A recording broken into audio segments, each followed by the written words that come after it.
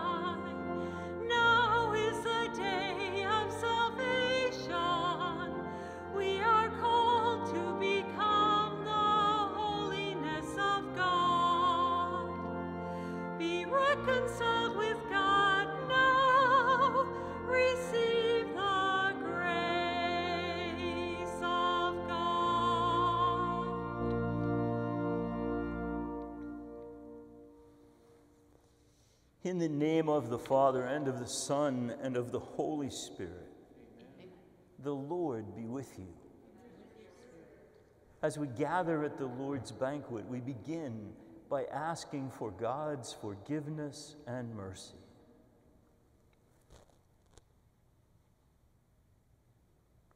Lord Jesus, you raise us to new life. Lord, have mercy. Lord, have mercy. Lord Jesus, you forgive us of our sins. Christ, have mercy. Christ, have mercy. Lord Jesus, you feed us with your body and blood. Lord, have mercy. Lord, have mercy.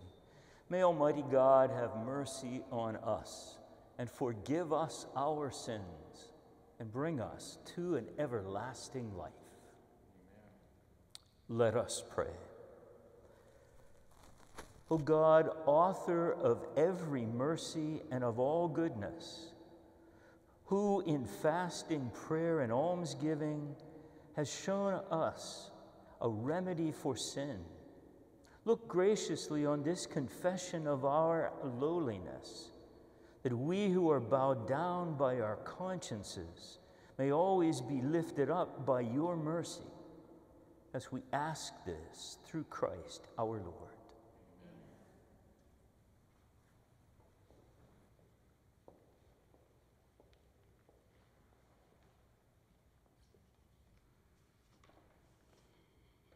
A reading from the book of Exodus. In those days, God delivered all these commandments I, the Lord, am your God, who brought you out of the land of Egypt, that place of slavery. You shall not have other gods besides me. You shall not take the name of the Lord your God in vain, for the Lord will not leave unpunished the one who takes his name in vain. Remember to keep holy the Sabbath day. Honor your father and your mother, that you may have a long life in the land which the Lord your God is giving you. You shall not kill. You shall not commit adultery. You shall not steal. You shall not bear false witness against your neighbor. You shall not covet your neighbor's house. You shall not covet your neighbor's wife, nor his male or female slave, nor his ox or ass, nor anything else that belongs to him. The word of the Lord. Thanks be to God.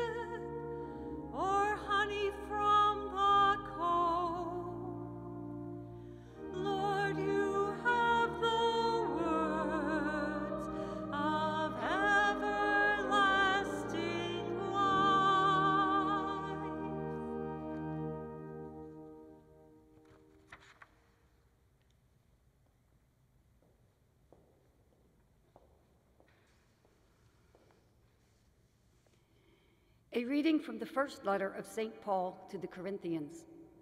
Brothers and sisters, Jews demand signs and Greeks look for wisdom, but we proclaim Christ crucified, a stumbling block to Jews and foolishness to Gentiles. But to those who are called, Jews and Greeks alike, Christ, the power of God and the wisdom of God. For the foolishness of God is wiser than human wisdom, and the weakness of God is stronger than human strength. The word of the Lord. Thanks be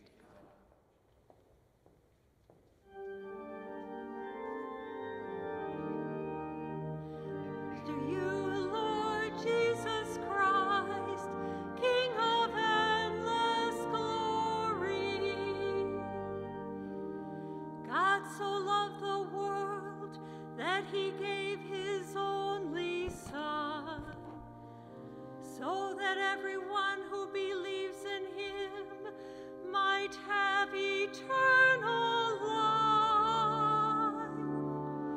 Praise to you, Lord Jesus Christ, King of endless glory. The Lord be with you. A reading from the Holy Gospel according to John. Since the Passover of the Jews was near, Jesus went up to Jerusalem. He found in the temple area those who sold oxen, sheep, and doves, as well as man- many money changers seated there. And he made a whip out of cords and drove them all out of the temple area with the sheep and oxen, and spilled the coins of the money changers, and overturned their tables. And to those who sold doves he said, Take these out of here, and stop making my father's house a marketplace. His disciples recalled the words of Scripture Zeal for your house will consume me. And at this the Jews answered and said to him, What sign can you show us for doing this? And Jesus answered and said to them, Destroy this temple, and in three days I will raise it up. And the Jews said, This temple has been under construction for 46 years, and you will raise it up in three days? But he was speaking about the temple of his body. And therefore, when he was raised from the dead, His disciples remembered that he had said this, and they came to believe the scripture and the word Jesus had spoken. And while he was in Jerusalem for the feast of Passover, many began to believe in his name. And when they saw the signs he was doing, but Jesus would not trust himself to them because he knew them all and did not need anyone to testify about human nature. He himself understood it well. The Gospel of the Lord. Praise to you, Lord Jesus Christ.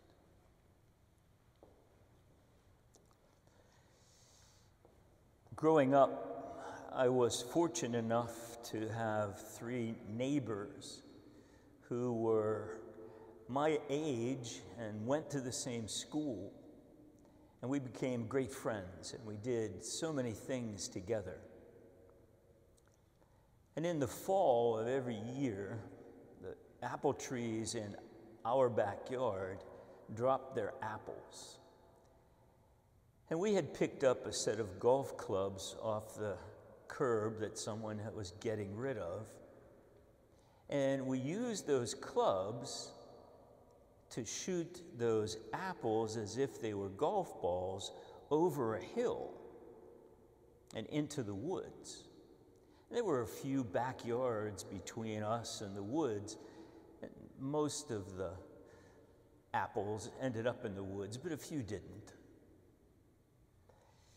And one day we went to school and we heard our names called over the PA system.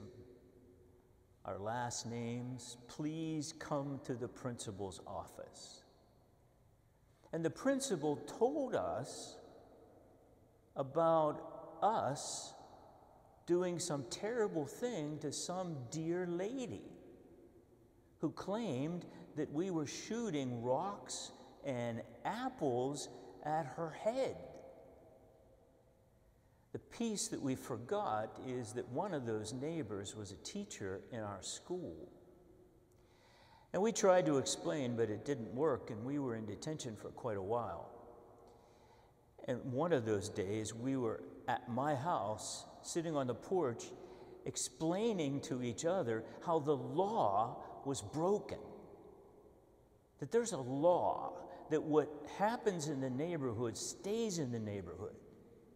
And it can't involve anything at school. They're two different worlds, or else we can't have any fun in the neighborhood.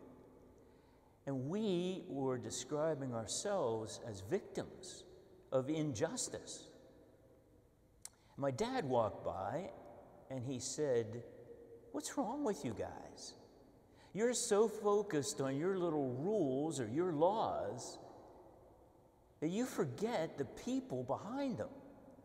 How would you feel if you were an elderly person and you're weeding in your yard, your yard, and you're being pummeled by apples from above? It was a new perspective for us.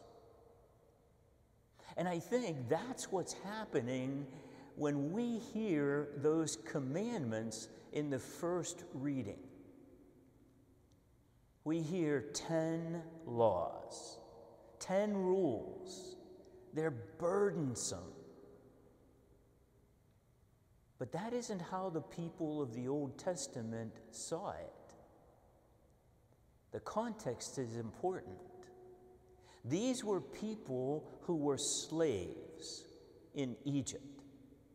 They prayed and prayed, and God rescued them he rose up Moses, who led them through the waters of the sea and planted them on dry land. That God saved them. And that same God says to them in the book of Exodus, I will be your God, and you will be my people. I will guard you and guide you. And you will do these commandments. And they said, Great, gladly, we will do that. because they were so grateful for what God had done for them. The commandments, living those laws, was their way of demonstrating gratitude. So those rules were focused and so important to them because there was a person behind the rules, a person that loved them, a person that was going to lead them and guide them. In the same way, too, in the gospel passage, Jesus takes God from the temple and makes God part of everyday life. So that God's dwelling in Jesus. He's not hidden in the temple, and Jesus is in the midst of the people. It was a way of saying that the old ways of trying to capture God and trap God in the temple are gone. This temple is cleansed. It's me. I am your God. I am the Father's Son. And so the commandments then involve not just Jesus, but every one of his disciples and everyone who is born of the Father, who comes into the world as God's image and likeness. So, behind those commandments are not only the God that loves them, but also, the scripture tells us today, God's people who benefit from our observance of the commandments. They're the basis of how we deal with one another.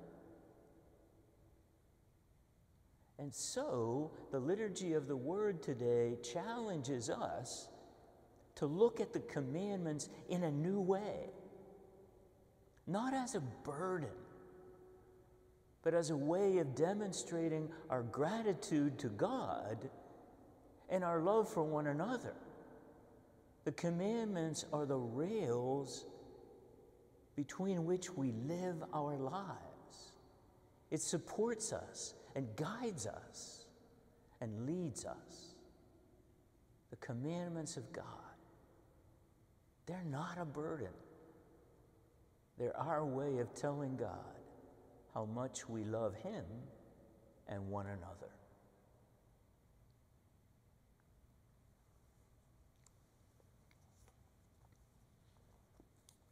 Together, we profess our faith.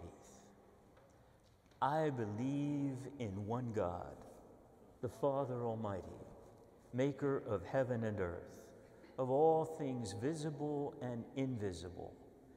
I believe in one Lord, Jesus Christ, the only begotten Son of God, born of the Father before all ages, God from God, light from light true God from true God, begotten, not made, consubstantial with the Father. Through him all things were made. For us men and for our salvation, he came down from heaven, and by the Holy Spirit was incarnate of the Virgin Mary and became man. For our sake, he was crucified under Pontius Pilate. He suffered death and was buried and rose again on the third day in accordance with the Scriptures. He ascended into heaven and is seated at the right hand of the Father. He will come again in glory to judge the living and the dead, and his kingdom will have no end. I believe in the Holy Spirit, the Lord, the giver of life, who proceeds from the Father and the Son, who with the Father and the Son is adored and glorified who has spoken through the prophets. I believe in one holy, Catholic, and Apostolic Church. I confess one baptism for the forgiveness of sins, and I look forward to the resurrection of the dead and the life of the world to come. Amen. With confidence and with faith, we come before the Lord with our needs. For the church, may the Holy Spirit strengthen her in teaching God's law in spirit and truth. Let us pray to the Lord. Lord, hear our prayer. For elected leaders, that they may serve with wisdom, compassion, and humility for all the people in their care. Let us pray to the Lord. Lord, hear our prayer. And for those preparing to be baptized this Easter, and those to be received into full communion with the Catholic Church, may they be given a deeper awareness of God's loving presence in their lives. Let us pray to the Lord. Lord, hear our prayer. For those suffering any type of disease or affliction, may the Lord bring them comfort and healing. Let us pray to the Lord. Lord, hear our prayer. For the living and deceased members of Holy Sepulchre and St. Kilian parishes, and for the prayers we hold in the silence of our hearts. Let us pray to the Lord. Lord, hear our prayer. Lord God, we give you thanks for the gift of your law. Help us to live your law as a way of gratitude for all that you have given to us as we make this prayer through Christ our Lord.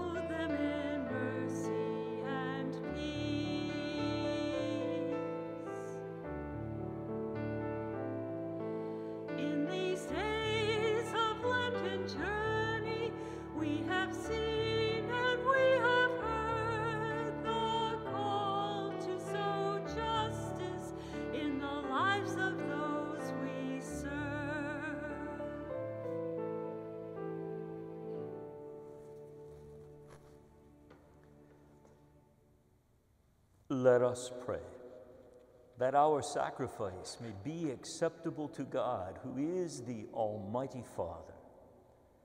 May the Lord accept the sacrifice at your hands for the praise and glory of his name, for our good and the good of all his holy church.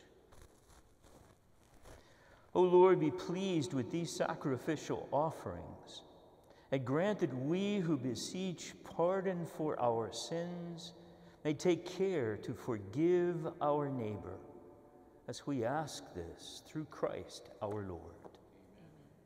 The Lord be with you. Lift up your hearts. Let us give thanks to the Lord our God. It is truly right and just, our duty and our salvation, always and everywhere to give you thanks. Lord, Holy Father, Almighty and eternal God, for you will that our self denial should give you thanks. Humble our sinful pride, contribute to the feeding of the poor, and help us imitate you in your kindness. And so, with all the saints and angels, we proclaim your glory, as with one voice we acclaim.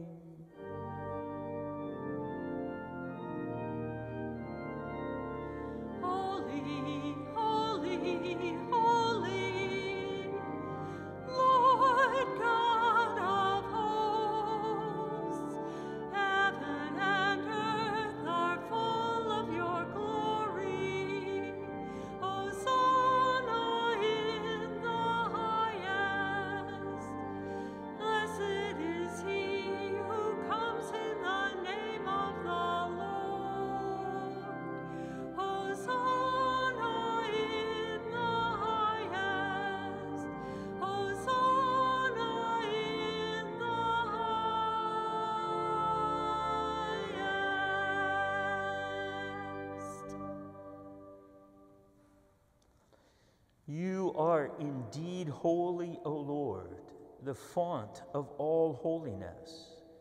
Make holy, therefore, these gifts, we pray, by sending down your Spirit upon them like the dewfall, so that they may become for us the body and blood of our Lord Jesus Christ.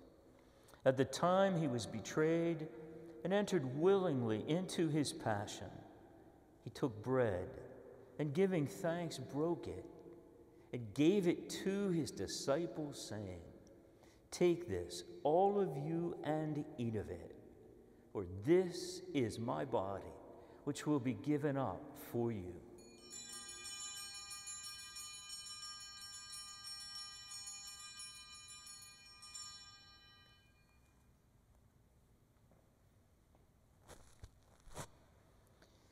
In a similar way, when supper was ended, he took the chalice, and once more, giving thanks, gave it to his disciples, saying, Take this, all of you, and drink from it, for this is the chalice of my blood, the blood of the new and eternal covenant, which will be poured out for you and for many for the forgiveness of sins. Do this in memory of me.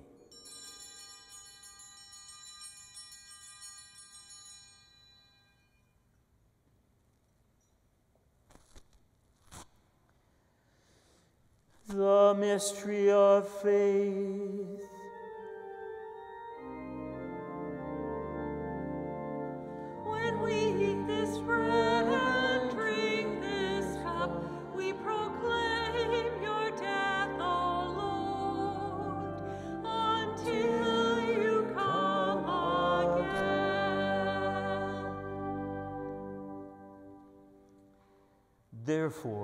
As we celebrate the memorial of his death and resurrection, we offer you, Lord, the bread of life and the chalice of salvation, giving thanks that you have held us worthy to be in your presence and minister to you.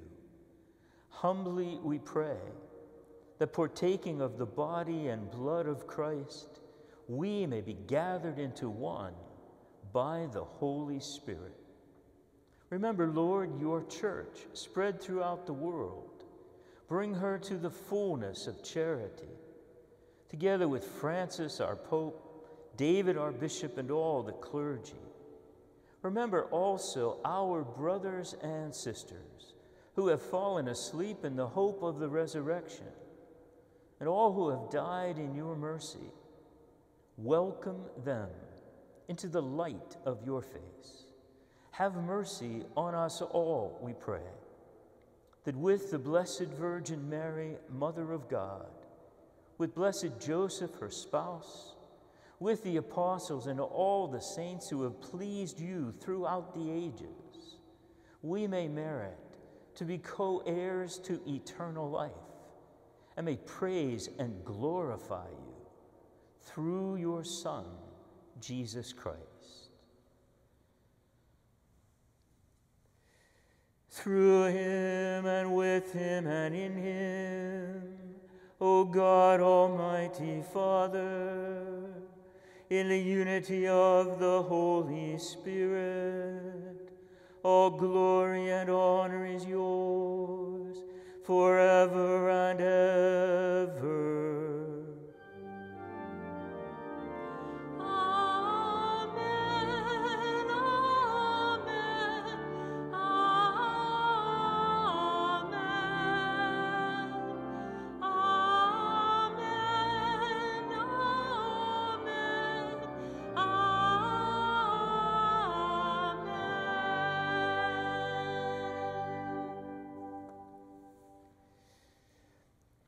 At the Savior's command, informed by divine teaching, we dare to say, Our Father, who art in heaven, hallowed be thy name.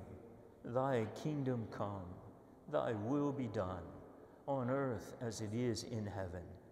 Give us this day our daily bread, and forgive us our trespasses, as we forgive those who trespass against us. And lead us not into temptation, but deliver us from evil. Deliver us, Lord, we pray, from every evil. Graciously grant peace in our day, that by the help of your mercy we may be always free from sin and safe from all distress, as we await the blessed hope and the coming of our Savior, Jesus Christ. For the kingdom, the power, and the glory are yours, now and forever. Lord Jesus Christ, who said to your apostles, Peace I leave you, my peace I give you. Look not on our sins, but on the faith of your church, and graciously grant her peace and unity in accordance with your will, who live and reign forever and ever. The peace of the Lord be with you always.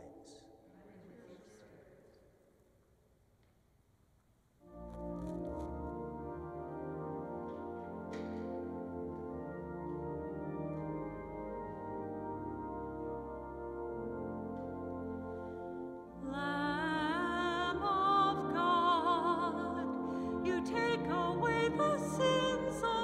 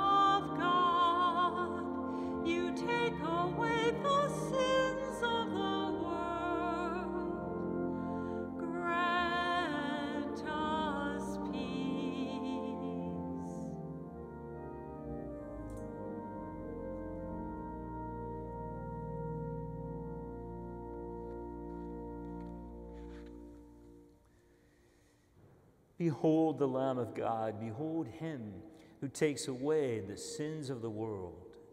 Blessed are those called to the supper of the Lamb. Lord, I am not worthy that you should enter under my roof, but only say the word, and my soul shall be healed.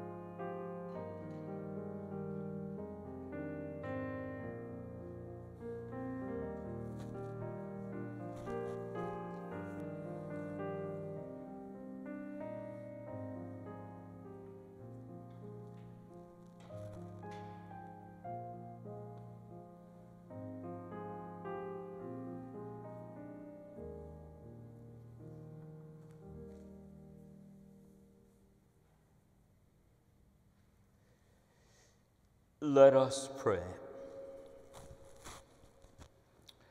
O Lord, as we receive the pledge of things yet hidden in heaven, and are nourished while still on earth with the bread that comes from on high, we humbly entreat you for what is being brought about in us in mystery may come to true completion through Christ our Lord. Amen. The Lord be with you. And with your spirit. May Almighty God bless you, the Father, the Son, and the Holy Spirit. Amen. Go in peace, glorifying the Lord by your life.